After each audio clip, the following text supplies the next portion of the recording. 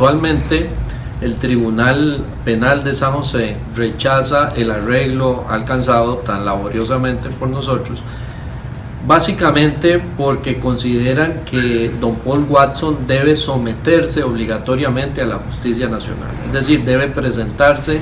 a nuestro país y eh, realizar personalmente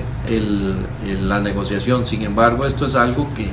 eh, no debería de ser porque ya existe dentro de nuestra legislación la posibilidad de que esa actividad se realice por videoconferencia y entendemos que don Paul Watson es una persona que se encuentra en diferentes partes del mundo realizando todo tipo de actividad pro vida marina y entonces es un poco complicado. ¿y ahora qué van a hacer ustedes?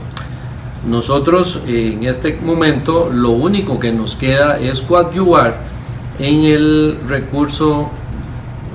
sí, en el recurso de habeas corpus que va a ser presentado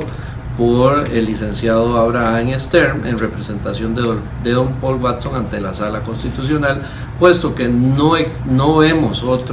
otra salida a este asunto.